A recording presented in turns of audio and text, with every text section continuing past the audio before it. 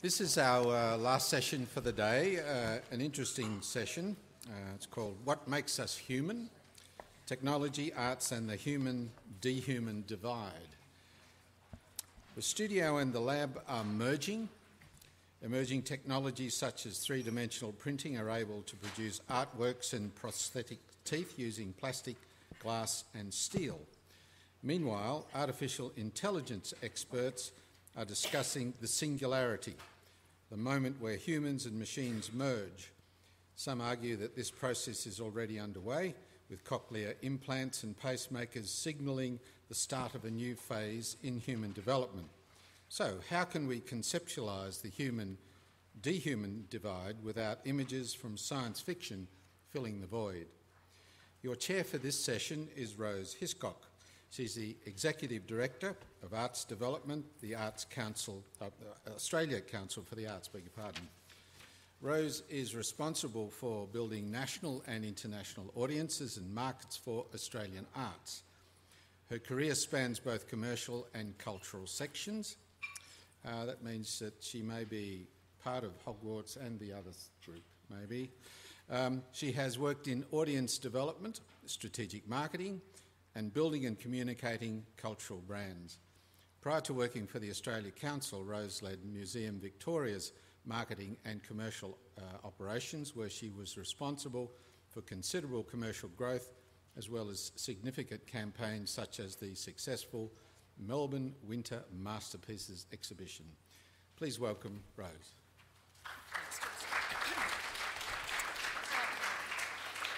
Uh, thank you. everyone. I'm, I'm, hoping this will be a, a, very lively session. And we started our day with Senator Brandis uh, talking about the past. Well, we're going to be talking about the future in this session, uh, with, a, with, with, reference to the past, of course. Um, now, I'd particularly like to welcome the lads from uh, Canberra Grammar. Um, just talking before to a couple of you guys, um, I understand you're doing your IB this year, and you are writing an essay, a significant essay, and looking for uh, uh, intellectual fodder. So hopefully uh, this session will, will help develop that. Um, but I'd really encourage you guys to be vocal in this session. Um, if, you if we're talking about the future, we're talking about your world as well as ours. So if, if you've got ideas and want to throw in, uh, there'll definitely be time, time towards the end to do that. So I'd absolutely encourage that. Um, the, just a, a, a, minute on the Australia Council. Um, we are the uh, uh, federal government's arts funding body, and we fund um, both.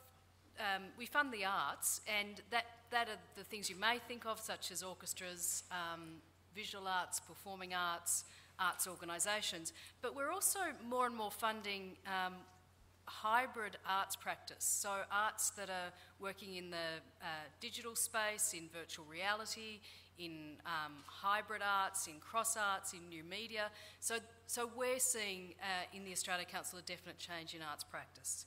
Um, today's panel um, crosses both the arts as well as innovation and technolo- te- technology spheres. Um, firstly, and, and I want to, because we're going to be talking about the arts and technology, I want to bring a little bit of emotion into this. So, Gavin, Gavin Artz, our, our, our first panellist, is the Managing Director of Ancillary IPs. Um, he's worked on integrating innovation into strategy, uh, and he's worked across uh, numerous boards as well as engaged in, in the sphere himself in, in the technology arts media space. So you'd call him a cross pollinating, hybrid, hybridized sort of a guy. I'm really interested in his surname, which is ARTZ, which is some kind of hybrid of art and something. You can talk to that, Gavin. Um, but I think it sort of describes Gavin well. I'll go across the panel and then we'll, we'll just. Um, I'll introduce you, uh, if you could start after that, Gavin. Um, Dr. Marcus Hutter, to, to my left. When, when we hear Marcus talk, you are listening to the future. And I'm just going to leave it there well, other than to say he's a professor of artificial intelligence at ANU, he's an author and a physicist, and he's got a very interesting theory on the future. Um, Martin Mckenzie-Murray is a journalist and a speechwriter. Uh, Mart- uh, Martin's style of journal- journalism is em- emblematic of the changes that we're seeing in journalism. He's a writer, a blogger, a speechwriter. He, he writes for the Fairfax Press. Uh, he, he writes for Crikey. He's in television. So we're in, in um, Martin's world, we see that cross media uh, hybridisation. And finally, Lucinda Ward. Lucinda Ward is a curator for international painting and sculpture at the National Gallery of Australia. Uh, herself a graduate from the Canberra School of Arts, she's curated many shows as a curator. And from Lucinda, what we'll be hearing from someone who has the artist rather than the technology firmly at the centre of her thinking. So I think we're, got, we're going to have a hybrid panel talking about past, future, and intersections. So um, the way we'll work is each panellist will talk for 10 minutes. I then want to see if we can get a bit of a robust discussion going within the panel itself uh, and throwing open to you guys. So Gavin, over to you. Yes, um, the, the name Artz is actually a product of Australia's uh, multiculturalism. It's a real name from Holland, um, but it's actually Holland via Germany, so double multiculturalism. Uh, in many ways, I'll, I'll, probably be following on from the, the international keynote uh, because uh, I've found my new calling. I am a wizard who has an MBA. so I have both the humanities, um, the, the arts, and the business side. What I'm going to be talking about today, if the slides come up, yes, fantastic, is, is really this idea, um, the, the problem with creativity. And this is probably a problem that you may not be aware of if perhaps you work in the arts, but you definitely feel the effects of it. But it's also a problem that you probably feel if you do any creative activity, um, be that science, uh, be that um, in any area of human endeavour. And the problem is not so much with the creativity itself, but the gap there is between the creativity or the, the deep explore, exploration that occurs in, in, many of these creative activities and what is um, expected to be creativity in the rest of the world. And this gap is particularly apparent if you've ever been a creative person trying to uh, work in, in the business world. And if you're thinking about the problem of creativity in, in a, a, more of a business situation, you're really talking about the idea of innovation. Now, we've heard the term innovation a fair bit today, and it's often used uh, poorly. It's often used um, very willy nilly for, for many different things. But at the heart of it, the basic idea of innovation is the new idea or creativity and the application of that creativity. And if you think about it, that's a fantastic idea.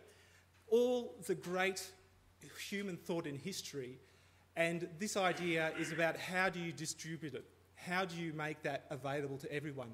And often we talk about it in a commercial context, but it's also very much uh, an idea around culture and around one of the foundation it's a foundation sort of idea about how we create civilization. How do we bring these new ideas, um, a lot of the pure research that we engage in, and how do we distribute it amongst everyone?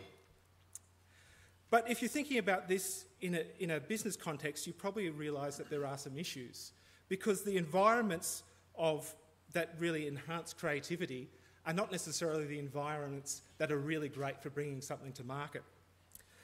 And uh, the, the, the actual activity of creativity, when seen in a business context, is seen as risk. It is seen as a very risky thing to engage in. And one of the problems is that when you're uh, in business and you're trying to reduce risk, you don't know whether that is a genius idea or the person is completely nuts. And that's a problem not so much for the, well, ultimately it's a problem for the creative people in that they don't get to partake in, in, the, in some of this activity in society that builds wealth. But also, we as society tend not to benefit from, from these innovation processes because of this definition that has been applied to creativity in a business context. So, when business talks about, in, about creativity, business is really talking about this idea of something that's a new idea, but something that's useful or immediately applicable. So, for the most part of the really groundbreaking creativity that happens in society, um, the, the, things, the things that people engage in in the arts and pure research, in a business context, that's classified, well, it's not classified, but um, without, it's not classified as being useful. So I imagine it's classified as useless creativity. So we have this real problem that uh, when we're talking about innovation, the most uh, groundbreaking, the most insightful, the most deep thought that we have in society is deemed as useless, and it's actually not used in a business context. And it's really important to, to be more uh, embracing of, of this useless creativity, for want of a better, better word, because the people who engage in this do it for different reasons. They do it for the intellectual pursuit, the exploration, um, or the, the constant striving for something that they're not quite sure about. And in this process, they uncover new problems. And I think we focus very much in the mainstream of society around, around resolving known problems as opposed to discovering uh, unknown problems. And when we're talking about what will be needed in the future, we're really talking about people who explore and discover these unknown problems. And these, this is kind of important when we're building these new worlds because the technology is, is moving quite quickly. So if you think about uh, building a robot, it's a technical problem, but living with one is a cultural problem. And I call this the uh, evil robot paradox because it sounds really cool to say that. and the, the evil robot paradox is this idea that as technology becomes not so much a tool but an augmentation of us, then it has to have a deep cultural sympathy because we don't want to attach ourselves to technology, make it a part of us, unless we can feel comfortable that it is a part of us. But it also means that perhaps we'll, we'll have to have similar human traits in our technology for us to be able to live with it, of predictable um, predictable sort of idiosyncratic, idiosyncratic activity that comes from it. And maybe we might even have to sort of put up with some odd evil machine coming through if we're going to actually have a true cultural relationship with our technology. I wanted to talk also about how these ideas have shaped some, some work that's happening now in Adelaide around the development of the Fab Lab. Uh, Adelaide is the first uh, lab in Australia that's uh, an MIT affiliated Fab Lab. And the Fab Lab is a digital fabrication lab.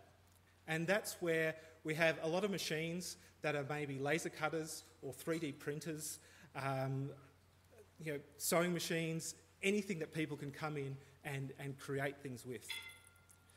And the idea is it's a, it's a bottom up type of innovation where you have a lot of um, groups in the community, those perhaps who are involved in more the hacker space, sort of the, the geeks who, who, who hack up technology, but you have also a lot of arts and other creative people in society who, given the tools, will, will start developing and pursuing their own ideas.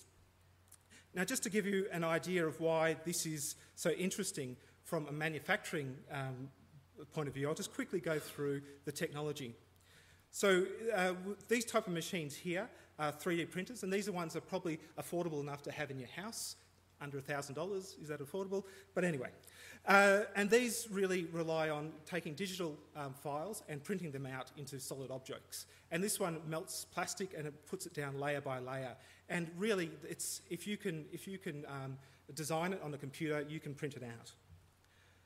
Also, the potential to get the data in, you can scan it um, with lasers. So you can scan objects and you can have it in the computer and you can print them out, or you can have them in the computer, you can mani manipulate them and print them out.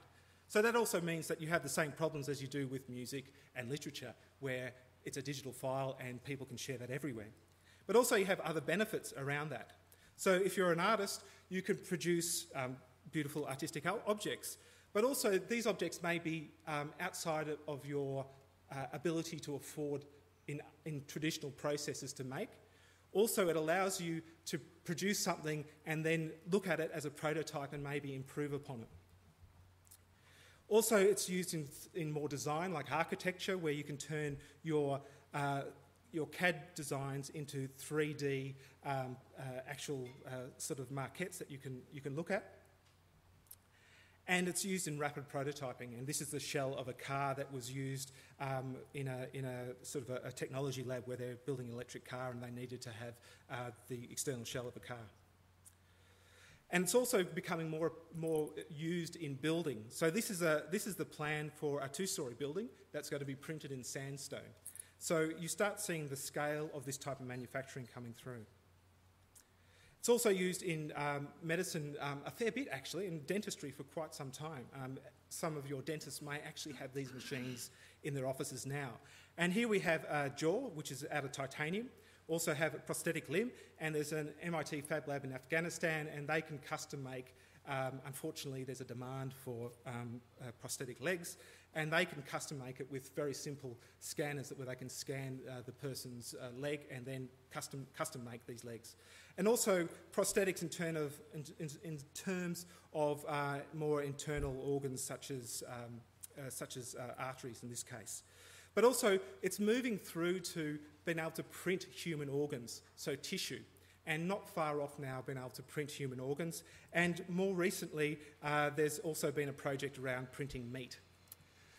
So we're really looking at a future of manufacturing that is much more driven by arts, design, and craft. And the reason why we have this in South Australia, particularly, is that the South Australian, well, uh, uh, in, in South Australia, part of the government, recognise that the future of manufacturing is actually going to be much more driven by, by, by design and by, by the arts. We also, uh, in the high end, you have something like this, which is nearly a $900,000 machine, which is a laser sintering machine. And companies like General Electric use this to print out high end aerospace parts. So, once again, you can see the breadth of the future of manufacturing that's going to be much more driven by creative processes, much more driven by design. But it's also going to be much more driven by those communities and those networks. So, the networks, for instance, of the Fab Lab and, and then networks through to TAFE. It's housed in AC Arts um, for the time being, which is a, a, an arts facility with TAFE. And then also perhaps um, just the general community coming in, but then attached to other, other, other networks such as entrepreneurship courses. And this is really providing a bottom up innovation process and, in effect, changing how we see the economy from a large investment, top down type of approach to more of a creative community approach uh, to building an economy. Thank you. Yeah. Uh, thanks, Gavin. I love the evil robot paradox. um, it, it, I'd be interested in um, the Canberra Grammar view of the who's the evil robot in, in your organisation. Um, so over to uh, Dr. Marcus Hutter. Marcus. Okay, it's here. Um, so um, that was a good start. There's no competition on this panel. you know, for the future, so I will talk about the far distant future or potential future, or maybe it's not too far distant. So the younger generation here may live in it, yeah, so we have to see. And if you think that's all science fiction, you know, then it's fine, so hopefully you enjoyed nevertheless but I try to present some arguments why this may become real. Okay. Um, so first, what is a technological singularity? Um, it's a hypothetical scenario in which self-accelerating technological advances cause infinite progress in finite time. Um, usually it's associated with computer speed getting higher and higher, yeah? and not just doubling, but getting infinitely large in finite time, often correlated with intelligent systems getting more and more intelligent. Okay. And um, then this is usually associated with a prediction barrier. So think about a caveman trying to understand our current society. So maybe we will not be able, so the current humans, not be able to understand this future society. And that's the reason why it's called singularity. It's borrowed from black hole singularity um, terminology. Okay, um, so the idea is actually not very new. So there's some ancient references 100, over 150 years ago. But um, then um, in the last century, so mid of the 20th century, several, interestingly, all mathematicians yeah, um, came up with this idea or discussed this idea. Um, and maybe the most popular one is Vernor Vinge, who wrote some science fiction and also about that. But it really got popularized by Ray Kurzweil. So Ray Kurzweil is an inventor um, uh, in two books in 1999 and then in 2005, and then of course the internet. And since then, there have been several events, often annual events. Um, there's a Singularity Summit, one international one, and one national one actually in Melbourne. Yeah. Um, so the Australians ones caught up quite quickly with this. And um, several organizations, and meanwhile, serious philosophers um, who discuss these scenarios, and several others. Okay, and um, there are also many related developments. So there's something called artificial general intelligence. It's a community who tries to build machines which have the capacity of human intellect. Um, there are whole brain emulations. There's a project like uh, called Blue Brain in Switzerland. They're trying to simulate a whole human brain. Um, meanwhile, we have a mathematical theory of intelligence and um, actually superintelligence, which you can study theoretically. Um, um, immortalism has been revived. Um, there are million dollar prices uh, for extending mouse lifespan, and um, the ultimate goal is to extend human lifespan. Uh, there's a lot of interest in this, obviously. Um, there's a, a, movement called transhumanism, uh, which Gavin hinted at already, uh, where we humans modify ourselves. So I just give one example, implanting chips to be able to say connect to the internet always without having to type and to look. Um, there are even some movements which have a religious connotation, like the omega point theory, where the universe evolves towards something which has maximum level of complexity or consciousness. So they're all somewhat related to this technological singularity scenario. And so how could this singularity come? Um, there are various scenarios. One is um, we scan our human brain, upload it to a computer, and simulate it there, and then it can get enhanced. Yeah, that is one scenario. Um, the other one is the traditional, good, old-fashioned AI approach, which just program computers to become smart. Um, or you take the machine learning approach, where you build, say, an intelligent artificial baby, and then which learns by experience, which seems to be simpler than building an adult. Um, or you go even further back and you just simulate evolution yeah, artificially. That's called genetic algorithms or the artificial life approach. Okay. Uh, and the last scenario I want to present um, is the awakening of the internet. I mean, now we have, I think, 2 billion computers connected to the internet, and we have all kinds of tools and intelligent um, algorithms running there. And, you know, maybe at some point it awakes and becomes intelligent. Um, so that's the digital Gaia scenario. Okay, so um, here's Moore's law. I hope you have seen that before. So it's an empirical observation that um, for over 50 years or maybe 100 years, you can extrapolate it back. Computing speed doubles every two years or 1.5 years. Okay? And if you extrapolate that to the future and you take some estimates of the capacity of a human brain, then in 30 years, your mobile phone will have higher capacity than your own brain. And maybe we also have the software then in 30 years. Okay? Maybe not. Who knows? Yeah. And then wait a couple of more decades, and then your mobile phone um, will um, exceed the capacity of the whole human race intellectually. Okay, that's a bold extrapolation, um, but it's not too implausible, at least for the computing speed and memory concerns. Whether we have the software or not is another question. Okay? So if you think that is pretty fast, uh, maybe it gets even faster. So, so why does it double every two years? It's not a natural law. It's because we do research and development and engineering, and these innovation cycles, they take two years, interestingly, rather constantly.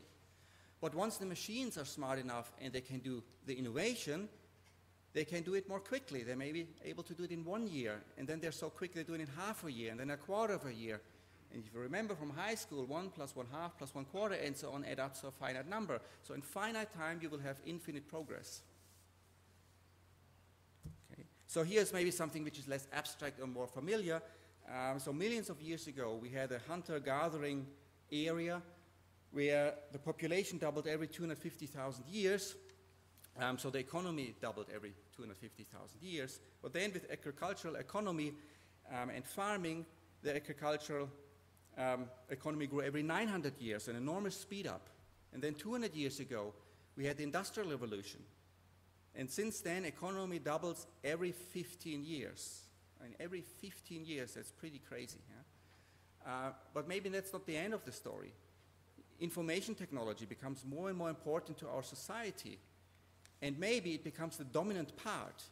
And since computing speed doubles, and if information technology dominates economy, then maybe the whole economy doubles every two years.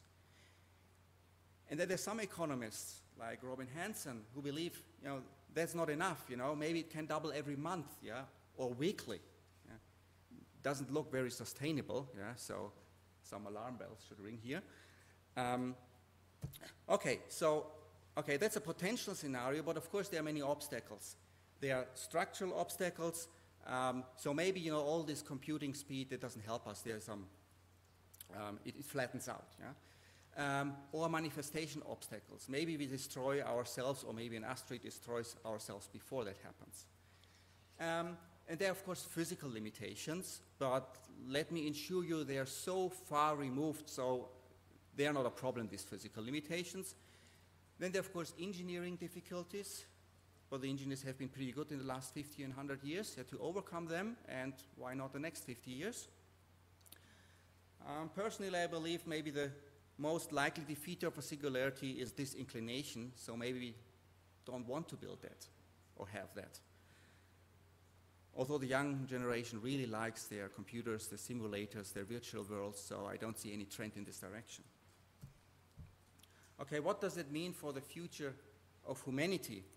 Well, I guess there are two basic choices. Either you participate or you you don't. Yeah? And if you participate, then you will become a transhuman, you get transformed, and it's an interesting question then how much of humanity as we understand it now is left over, and how great is the change. Yeah? Or you stay behind um, and get marginalized and possibly extinct. So I guess these are the two major options. And of course, you know, if this scenario comes, then this has enormous implications. So all the other considerations you, we have heard here before, I mean, they get really dwarfed by this. You know, it has ethical, political, economical, medical, cultural, humanitarian, religious implications, and, and not small ones. Um, one important one is, uh, just pick one. Yeah? Um, if it becomes very easy to copy life, or in general, if something becomes easy to copy, then the value goes usually down. Yeah? So if it becomes easy to copy life, then maybe the value of life goes down. So maybe it, it even becomes a disposable. Nobody cares about it anymore, even yourself, about your own life. It sounds, you know, odd, but it's, you know, it's interesting to think about this. Um, well, you potentially can, be, can become immortal, and immortality also has great consequences. And I don't mean overpopulation of the planet. I mean, it has implications about your motivation. If you have know, an infinite life in front of you, you know, why don't take 10 years of vacation? Yeah? I mean, you don't have to catch up, right? It has a lot of implications, and you, the values will change. And I think I will stop here. Um, there are, of course, alternative societies. I've indicated it in the last line, but I don't have time to get into that. Um, you can ask me questions about that later. Thanks. Thank you, Marcus. Um,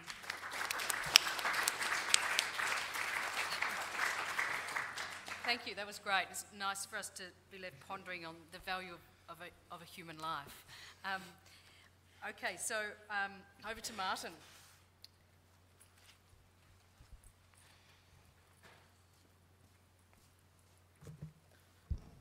Um, I'll just give you a quick preface uh, to try to affix this speech which is very different to the theme of the future, uh, so it doesn't seem aloof or kind of floating independently from what you've heard. Um, what we've heard is a lot about change. I guess I'm going to talk about uh, literature, journalism, speechwriting, and talk about what is unchanging about those things. A couple of years ago, I attended a Robert McKee seminar on comic screenwriting. Now, if you haven't heard of Robert McKee, he's a profane, gruff guru of script writing. who, perversely for his critics, has never had a screenplay produced. McKee attracts the inexperienced and desperate, that was the category I fell into, as well as celebrities.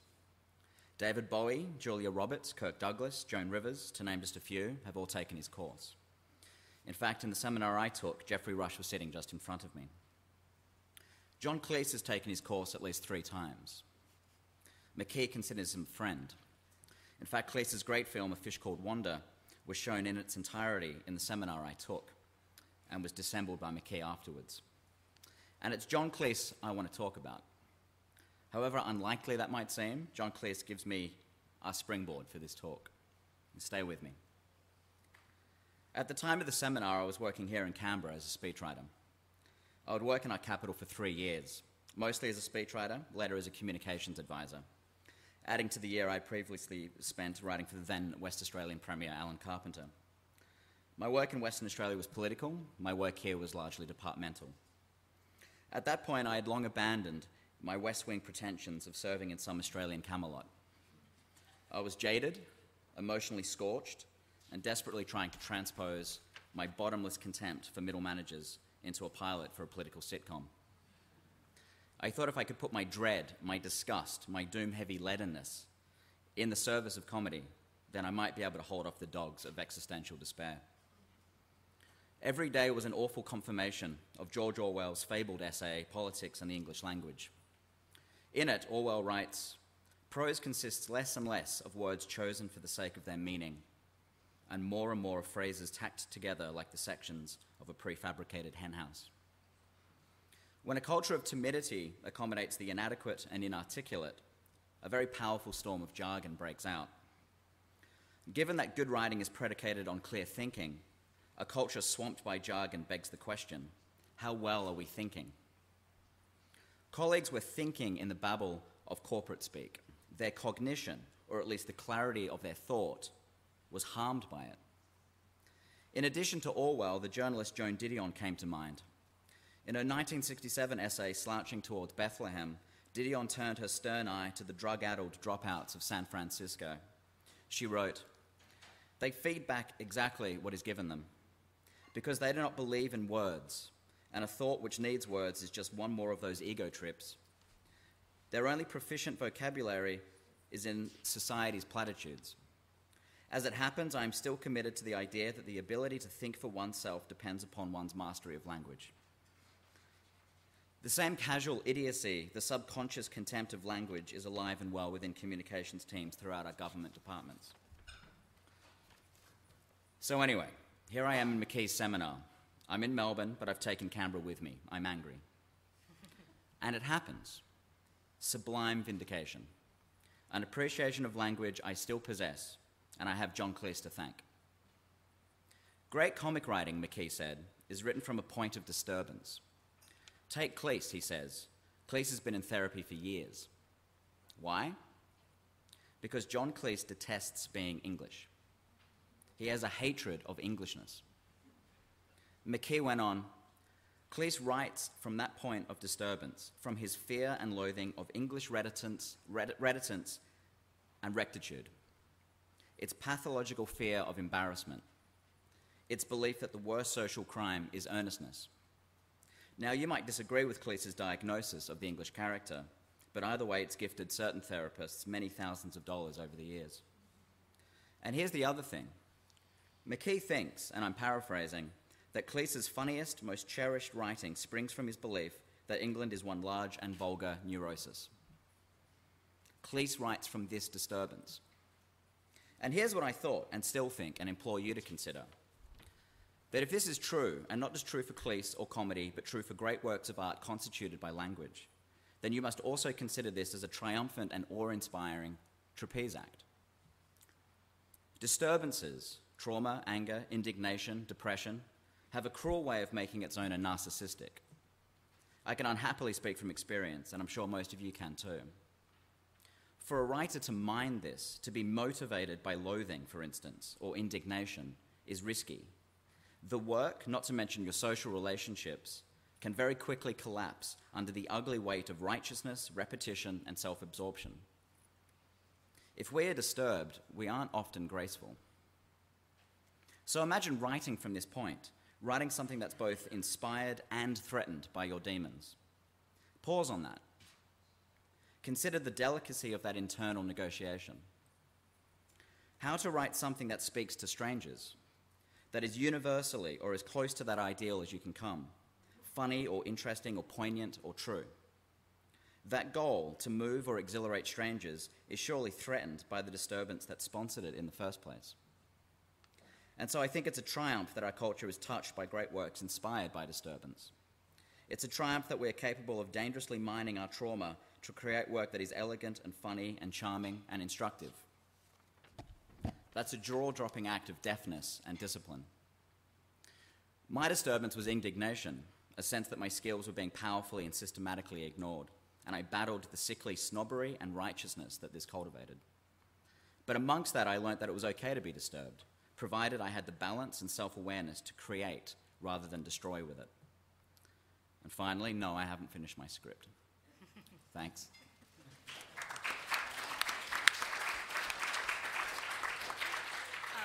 Thanks, Martin. I think the combination of Marcus followed by Martin is, you know, quite fascinating. We have some for someone for whom um, the, the, your sense of disturbance and emotion and is quintessentially human.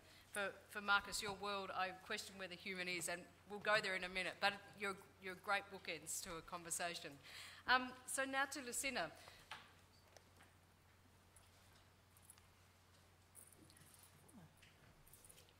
quite a crowded bench here, don't we? Must be all that technology. Well, thank you, Cass. This has been a really terrific and um, quite inspiringly diverse uh, day already. Uh, so I hope that our final pa- panel can um, continue with that. Um, I'm going to focus on one particular work by uh, the artist, American artist James Turrell, which is a recent commission um, at the National Gallery of Australia. Um, and American artist, in, in this work, and some of the points I'll make uh, more broadly, um, the fundamental thing I find it really important about his work is the way in which he works with light and perception. And all, the way in which all of his environments um, enhance the senses and affect the way that we feel, but also the way we specifically feel. All of his projections and light and installations cause the viewer to experience light in different ways. And this, I think, he's doing because he wants to encourage us to think, to ask questions about the source and origins of light for all sorts of different reasons. Now, most of us are fairly conscious that most of the time the sky is above us. And most of us take for granted that we'll stay there. But where when we're in a sky space, Turrell makes us perceive differently. The light appears more painterly, movement and colour are much more intense. The light sometimes seems to form a ball which floats above us, and at times the, the, the, sky even seems to enter into the space. Now, the Canberra Sky Space is uh, approached via a long sloped uh, walkway, and once you're inside the mound, you find yourself in a large square based pyramid. The interior walls are richly coloured with an ochre pigment, pigment pardon me. There's water, and at the centre of the turquoise pond, this huge black granite stupa.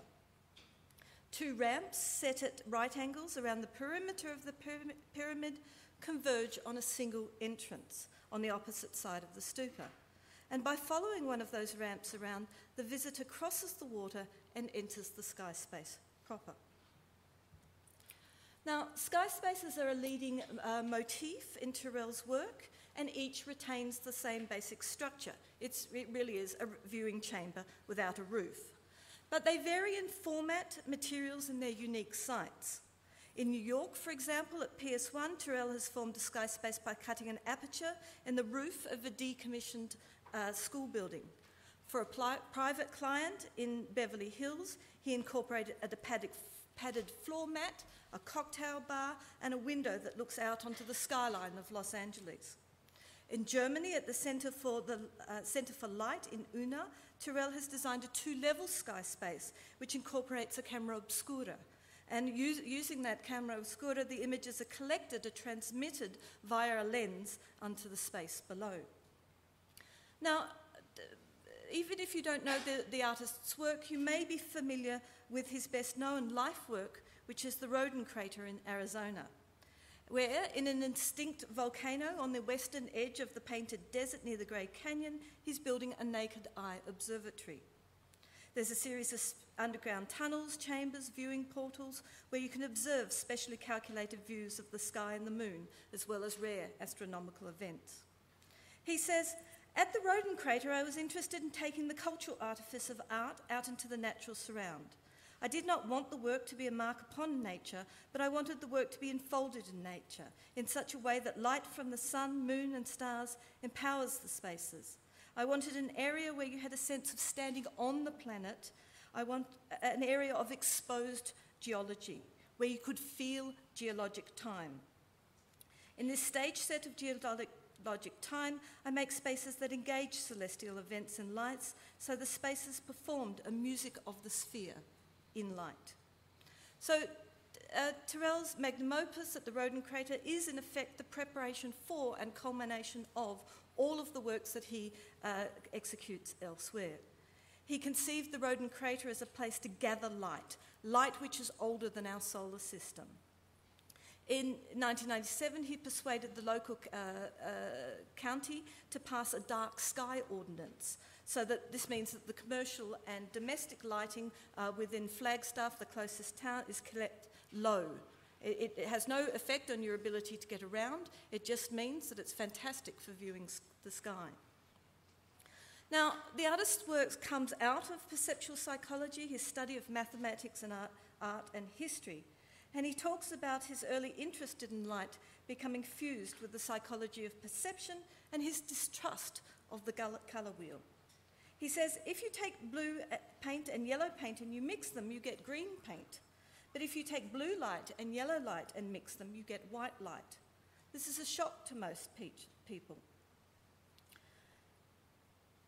Uh, Turrell's raised as a Quaker and fondly remembers his grandmother explaining what to do at meetings. When you're in a meeting house, or the Quaker meeting house, she told him to go inside and greet the light. But he's got a fascinating background, not only um, as a Quaker, but as a pilot and an aircraft mechanic. And he later uses these skills to finance his art projects. It's a very complex and, and fascinating uh, political uh, background, too, in that as a conscientious objector, he flew secret missions throughout Southeast Asia, ferrying Tibetan refugees to uh, safety. And in those time, often finding flying blind, he became finely attuned to the connections between the earth and the heaven. This is also where his familiarity with Southeast Asian architecture comes from. So, flying in a small aircraft is very important for Turrell and his working methods. He describes the aeroplane as his studio, an extension of his body. He found the Roden crater by flying for several months, but it actually took him several years to persuade the rancher to sell the, the, the, the, crater to him.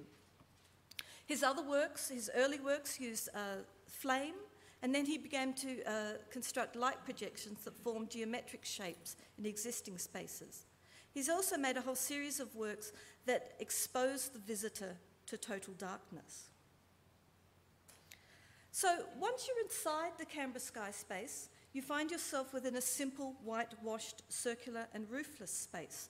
It's very sparsely furnished, it's got a concrete bench around the edge. There's a bank of lights that are, are located at the base of the dome, discreetly fixed into the wall. And you'll notice, of course, that this inner sanctum is a very Spartan space. It's aesthetic, almost church like in presentation. Now, as the slides I've put up suggest, the entire structure of within, within without is partly subterranean. This reduces the light pollution and serves to muffle extraneous sound from outside. But the, the business of sound is also very important within the work itself. The water, which constantly cascades, creates a white noise and promotes a sense of contemplation within the space. And it's also important that when you're within the space, when you stand at the centre of the space, there's some fascinating aural effects. You can also whisper around the wall. But it's, it's time that's probably most important for this, for this work, and um, uh, some slides to suggest the effect of the dawn and dusk cycle uh, that happen as obviously at dawn and dusk each time. Now, each day.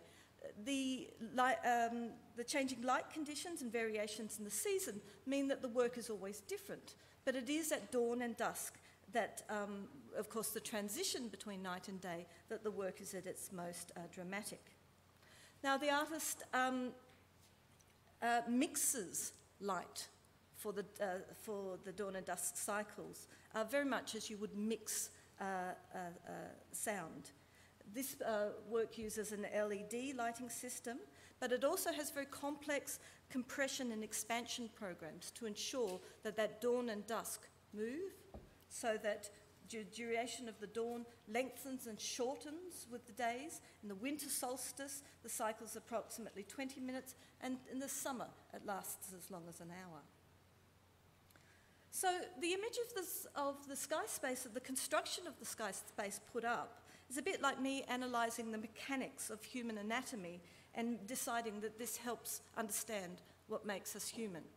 It's related, of course, but it's not the only thing. This is an art that is emphatically physical and yet has nothing to touch. It relies on a certain investment of time and what, more importantly, what the viewer brings to the work. It's a slow building kind of art, but as Turrell points out, things that are closer to the sublime often have a different time frame. Now, what you bring to the space is, of course, part of the unknown. Um, whether you come solo, when you come as part of a group, is one variable in the experience. Your perceptions also change the longer you stay with the work. If you stay for a, a dusk cycle, um, you, you have one sort of experience, dawn is quite different. The repeat visits, of course, enhance and develop some of these fascinating possibilities that the artist sets up for us. Turrell is a very knowledgeable uh, uh, uh, artist, has an amazing uh, background and interest in uh, different fields. And he's, uh, but what I like and what I'll finish with is a point that he made when asked about the parallels between art and science. He said, I always felt that art was more interested in posing the question than it was in getting the answer. But recently, I've just come to decide that art is actually the answer. Thank you.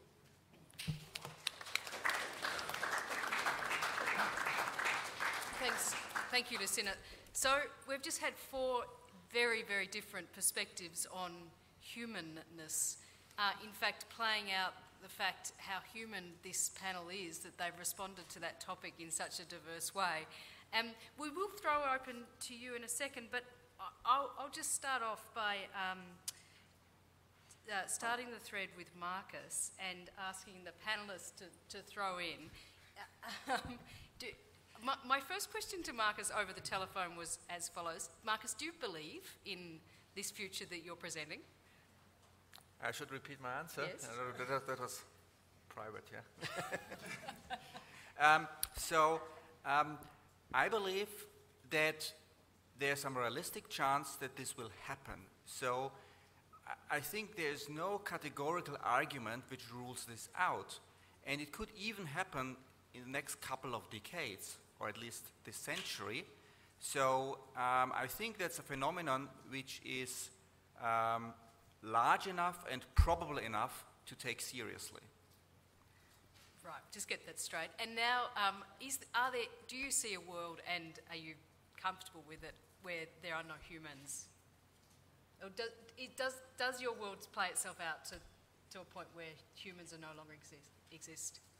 Um, I think I want to refrain from this answer. I, um, I've tried to project a future which I think is plausible or not implausible, and since it has enormous consequences, um, it should be explored, or at least it's interesting to explore. And I think whether I like it or not is, is really irrelevant. It's a question whether the majority or even minorities of our population likes it or not, and then makes a decision. And you know, I, I cannot tell. I can only I only know that the young generation they have no problems with the technology, with their mobile phones, with spending hours in virtual worlds. Yeah, and if they could, they probably would spend their whole life there. Yeah.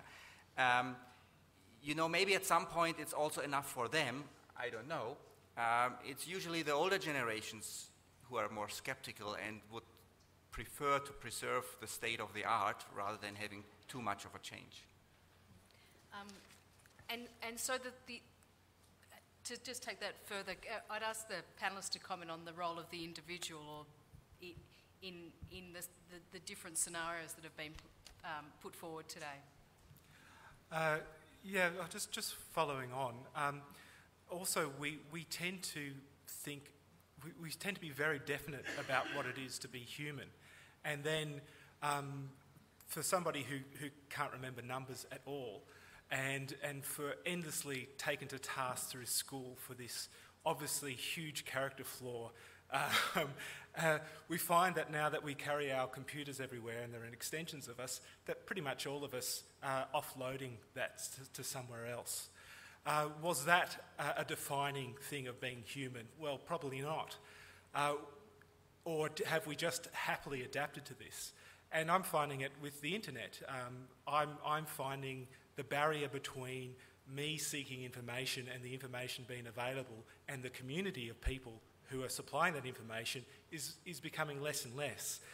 Yes, I'm still an individual, but really, we tend to think of ourselves as humans, as individuals, where we're kind of much more like ants.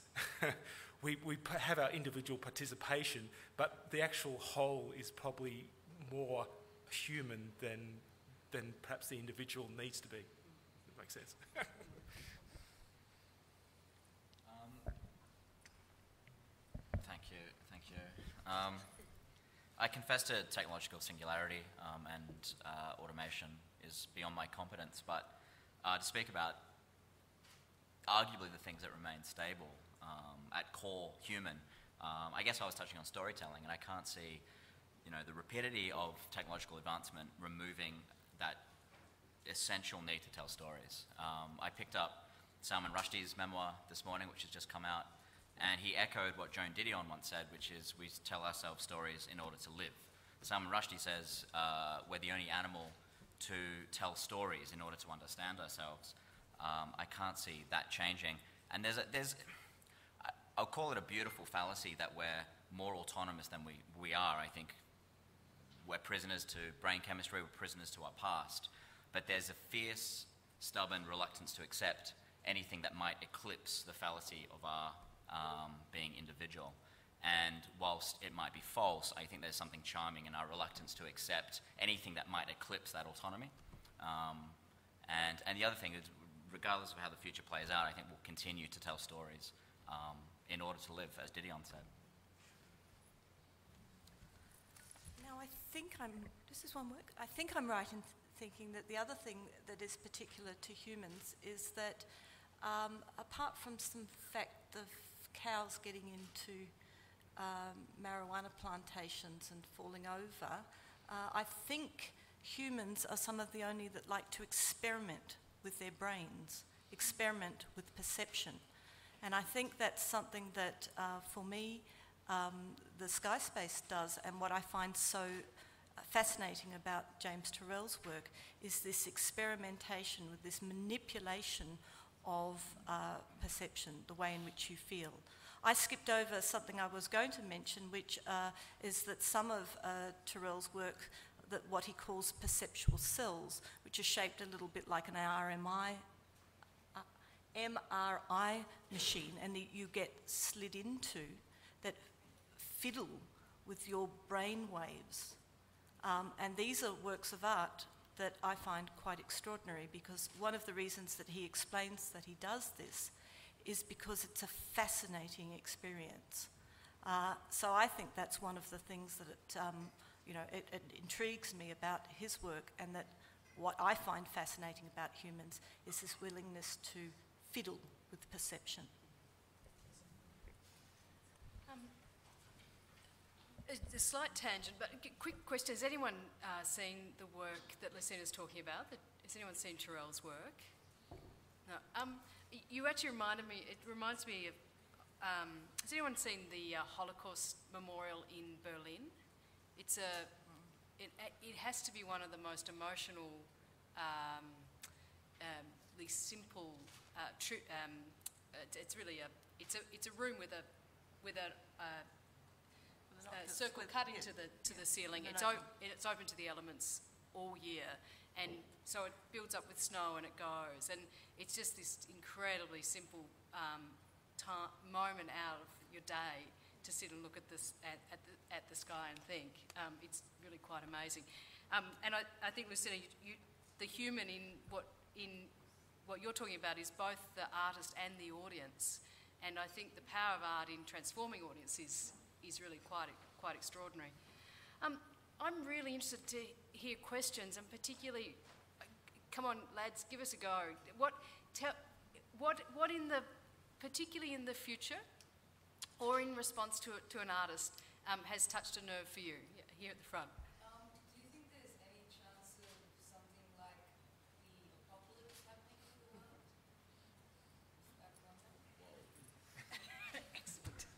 Uh, when, when you particularly talk about nanotechnology, there's the, um, there's the grey goo that they talk about, which is, which is also part of this concept of singularity, where if, you, uh, if artificial intelligence take over and artificial intelligence create other artificial intelligence and kind of a self, self-defining in a way, and be able to produce uh, nanoparticles that can go around and act autonomously and do their own things, then there's a potential for all matter just to become sort of this grey, grey goo because stuff just happens at a molecular level.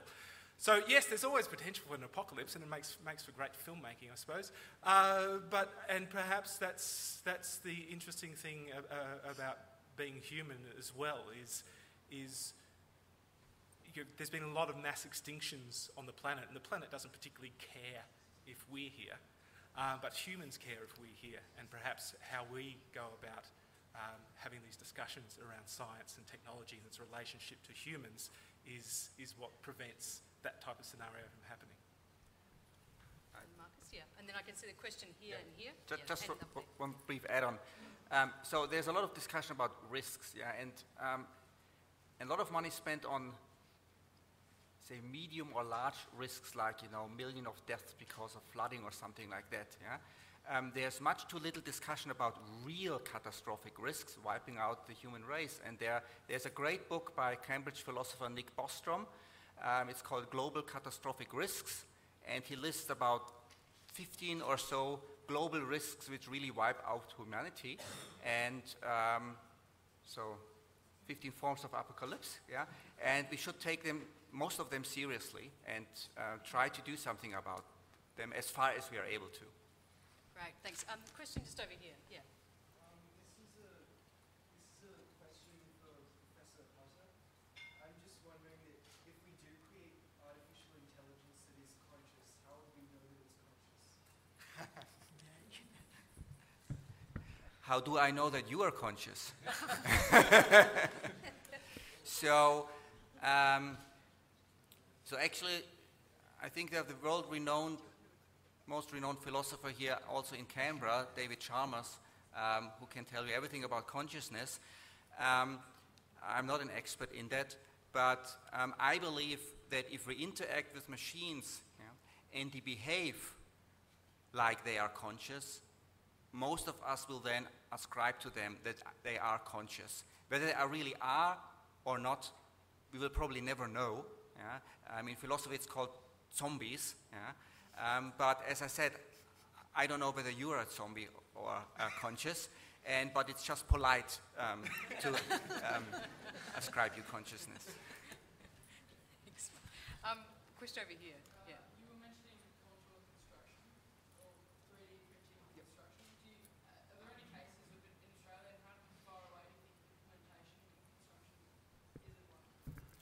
Uh, to, to, my knowledge, it's, it's not um, being uh, pursued in Australia. Um, a lot of this, I think a lot of the, particularly the building, um, if you're talking about building buildings, Uh, that's, that's occurring a lot in England and Europe at the moment. Uh, there's, there's different levels of it. There's, there's from you know, actually printing in sandstone through to more on-site um, fabrication of, of panels that then go through. So there's, there's, a, lot, there's a range of things happening in that space, uh, but it's really only perhaps been the last one year, one and a half years that that's really taken off. But when you look at this technology, uh, a machine that may have cost $50,000 last year, at the start of the year, halfway through the year, was $10,000, and next year they'll be releasing them for a couple of thousand dollars. So the, the amount of uh, effort going into creating these machines and the cost of these machines and availability uh, is, is becoming uh, dramatically cheaper, dramatically more impressive what they can do, and I'm sort of, you sort of really need to be thinking about um, that this is going to be a, a part of, of, the building industry in probably the next five years. Thanks. Uh, question at the back there. Yeah.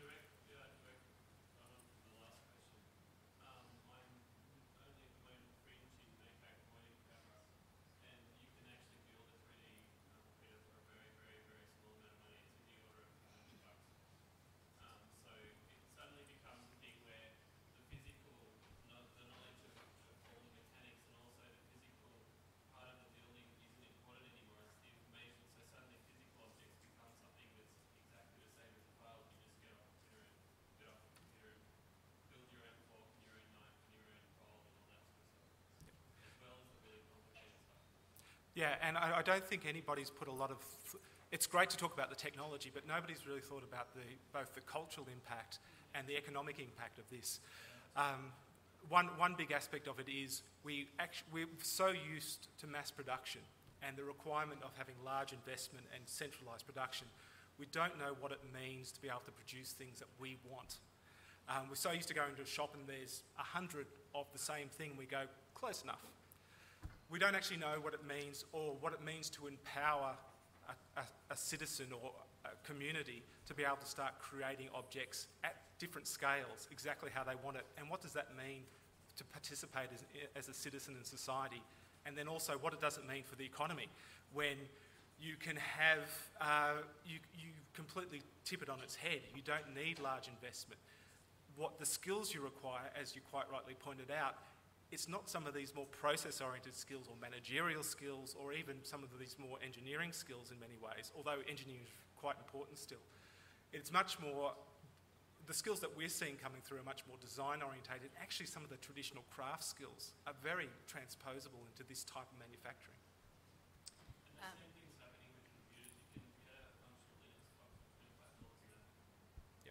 and, and I think that also goes to the singularity in a sense that a lot of this open source way of working has meant that everyone has access to it. You have community science where people are setting up uh, science labs in their community because the information is available online, the equipment's available online, it's cheap, and people can start doing things that they want to do. And you have this explosion, particularly in the 3D printers and that sort of cheap end, of people just going, well, I can make these printers and share them with my friends. Um, okay, we'll move on. I think Harsh here. Yes, yeah. Um, so question actually for Martin. Uh, you know, going back to your Josh Lyman days in West Wing, yeah. Uh, that life of yours, uh, and because you're the only one here who's sort of been inside the bubble, so to say, what do you think politicians in Australia and specific and probably in general need to do to change, to adapt, to understand all of these things that are happening? Because they seem to be most interested in tomorrow and opinion polls tomorrow and the debate in tomorrow's newspaper or television. So all of this is so remote and different from, I guess, this. So how do politicians change? We have figured out how people will change, and how humanity will change, and technology will change. How do you think politicians will change? Okay. If at all. Yeah, sure. I'll, I'll just repeat the question. Uh, if I understand you speaking about like a structural short-sightedness of, of politicians? Yes. How will, how will they change to react to all of this and to lead this or be part of this or not be part of this? Okay, and, and, and participate in a more substantive dialogue rather than sure. Um, it's, it's, a good question. Let me let me answer by. Lindsay Tanner, former um, finance minister, released a book last year called Sideshow, um, where he posited that It was the media's kind of insatiable appetite for the salacious, the insubstantial, um, and politicians had sort of cowed in response. Um, they'd become more willing to participate in the sideshow of the media, which was endless kind of 24 7, um, an addiction to polling, etc. My feeling is that in our polity, there are three agents there are voters, politicians, and the media. And to single one out um, at the expense of focusing on the others is a little simplistic. I think we're entangled. There's an entanglement between those three um, agents, if you like, um, which means that we will quite happily entertain fallacies, whether they be about taxation, climate change, etc. There, are, there are many things where there's a considerable cognitive dissonance amongst voters. There's also a considerable reluctance to speak uh, to voters as adults. Uh, and then you have, you know, one of the it hasn't been unadulterated goodness, this technological advancement for the media. It's, it's given us a lot of good things, but one of the poor things is 24 7 news, where it just becomes uh, an endless kind of ticker tape scroll of rubbish. Um, and I, I, don't know if this is becoming too tangential, if it's answering your question, but um, I mentioned a few weeks ago on a panel that uh, in light of most of our columns, most of our writing is this kind of quite aggressive, aggressively shallow uh, prediction of what might happen next week. It's less about policy and more about the Machiavellian kind of maneuvers, which are actually quite banal in my experience. They're not terribly interesting, but we kind of now, as a a guy in the media, I can see how the temptation to kind of beat these things into a lather, these kind of this political intrigue, and you don't get any substance there.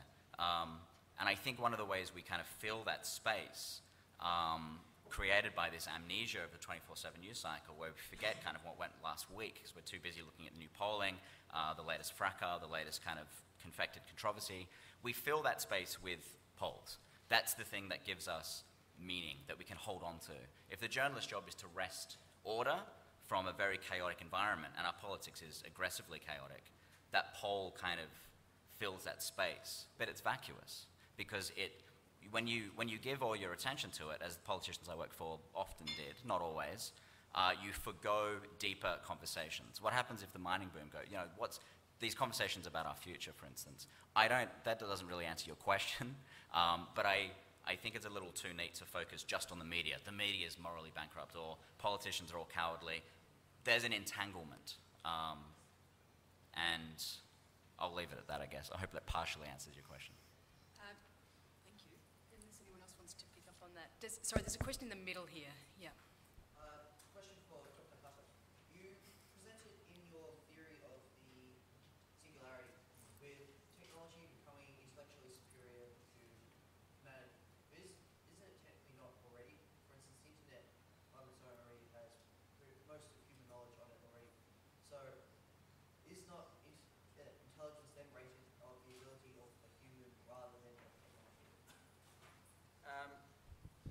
So your comment or question is about whether we, whether computers now already are more intelligent than humans.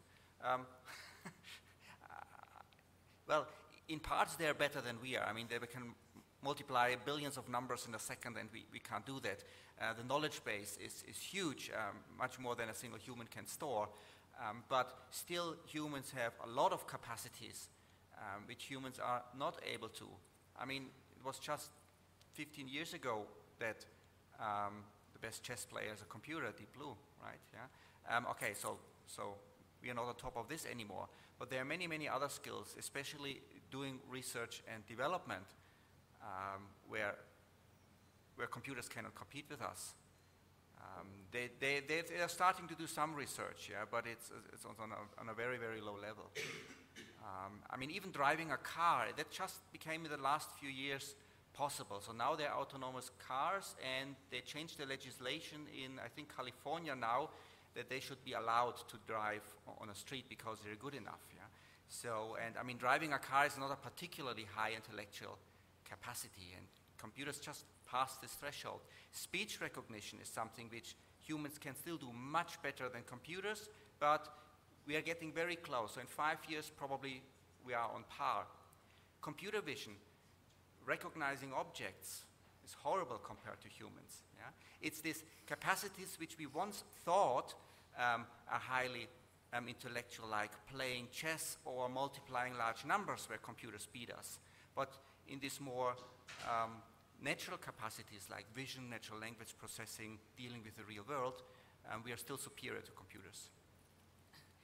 Um, I'm mindful of time, so just, So just continuing on further, so does that then lie how you would measure intelligence rather than knowledge to capabilities? Uh, sorry, I didn't get the question. Uh, would that then not move from intelligence, how you measure intelligence from knowledge to capability? Yeah, I, I mean, intelligence is much more than knowledge. yeah, And, and for me, the knowledge part is actually, I mean, as a mathematician, I mean, yes, you need to know something, but the real um, creative and intelligence part is to do something with it. And the knowledge I can look up. Yeah? Um, definitely, intelligence is more than just a huge amount of knowledge. And um, you have to assess and measure that properly if you want to quantitatively talk about which system is more intelligent than another. And that's a very difficult subject. Um, but um, in recent years, um, we and others have developed mathematical tools in order to measure real, in quotation mark, um, intelligence rather than just knowledge, for instance. Right, And last comment, and yeah. Yeah, uh, it's happening a lot too in terms of automation.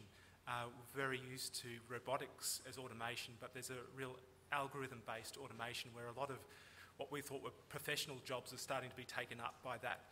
And we're, we're seeing this idea of creativity not being this uh, resolving known problems, but this, this, this idea or this intelligence being where we, um, we, we find or we resolve sort of unknown problems or problems that have big chunks missing out of them.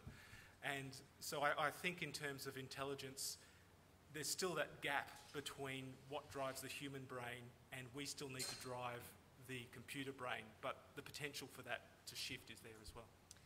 Um, look, thank you very much for a very engaged conversation. So, in summary, we have covered evil robots, singularity, transhumans, augmentation, light and perception, the power of the artist, 15 apocalypses, politics, disturbance, zombies, and of course, John Cleese. So, could you please join me in thanking our panellists for a really engaged conversation?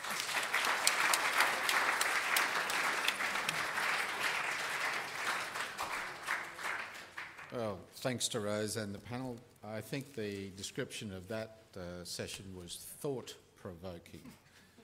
Um, I'm not sure who's provoking what or whatever, but the thought is there. Uh, thank you very much indeed. Uh, an excellent day. Thank you very much for coming.